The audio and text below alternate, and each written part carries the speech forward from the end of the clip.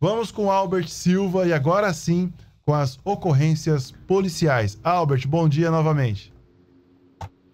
Oi, Israel, bom dia para você que está acompanhando aí o nosso RCN Notícia. Agora as ocorrências no nosso plantão policial das últimas 24 horas, destacando que a guarnição da Rádio Patrulha do 2 Batalhão de Polícia Militar, após tomar conhecimento aí de um homem que tem 44 anos, ele teria ameaçado de morte aí a sua ex-esposa, que tem 35 anos, o Israel.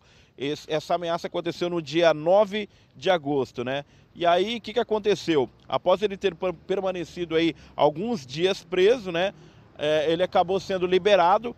Ele retornou Israel, pedindo para que ele não retornasse, mas ele retornou aí para a casa da vítima, né? Na casa aí da ex-mulher. E aí, através de denúncia, sabe quem foi fazer uma visitinha para ele?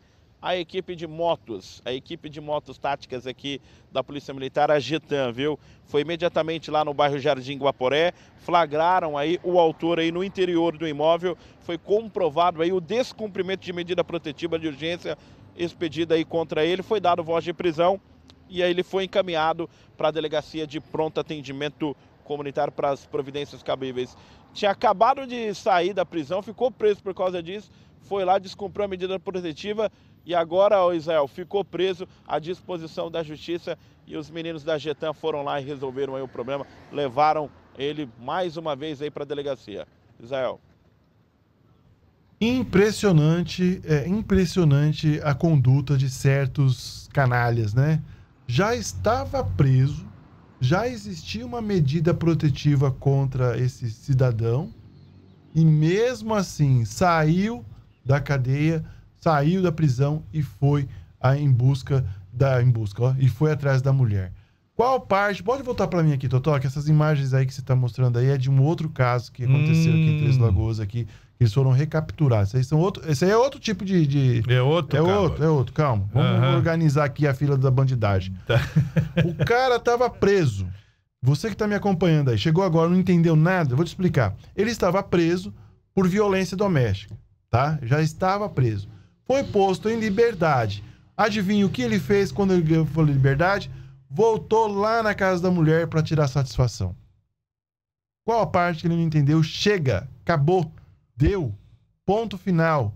Tá igual a história do poste. Ponto final. Não se toca mais nesse assunto. O cara voltou lá para tirar ah, satisfação. Ah, bom. Foi lá incomodar a mulher. Foi lá. É impressionante porque assim, se a mulher falou chega e já era, por que ele não vai pescar? Por que é, não foi vai jogar uma bola com os amigos? Pescar, viajar. Encontra outro poste, sai abraçado. Isso. Conhecer novas pessoas. Agora, infelizmente, o cara que comete violência doméstica uma, duas, no próximo relacionamento ele vai cometer de novo. Esse aí Sim, não tem com jeito. certeza. Não tem. Se ele não respeita a, a, a, a atual, a, futura também não vai respeitar de jeito nenhum. São, são homens que não se garantem. Essa que é a verdade homens que não se garantem e precisam ameaçar aí uh, ameaçar as suas companheiras. Que situação. O Albert Silva, mais ocorrências policiais aí também não teve não nessas últimas 24 horas? Teve sim, Israel. A polícia também na noite de domingo, né? Vamos passar para você que na noite de domingo a Força Tática foi solicitada via cupom, viu? Para deslocar até a rua Egide Tomé, pertinho aí da TV, tá?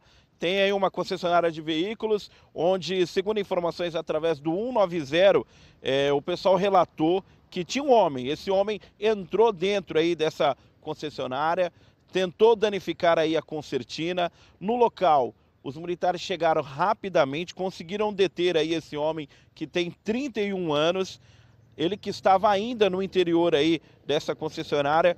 E aí, lógico, ele foi preso, foi encaminhado aí até a unidade de pronto atendimento UPA, Israel. Por que, que ele não foi para a DEPAC primeiro? Ele foi para a UPA. Sabe por quê? Porque ele acabou se machucando aí nessa concertina. Após ele passar por essa concertina aí, ele acabou se lesionando. Aí os policiais, o que, que aconteceu? Falaram, vamos levar ele para a UPA primeiro. Foram para a UPA, medicaram lá, fizeram o curativo, né?